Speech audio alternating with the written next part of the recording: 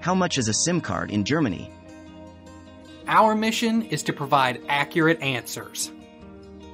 A SIM card starter package costs 9 euros and 95 cents, but includes 10 euros of credit, making it effectively free.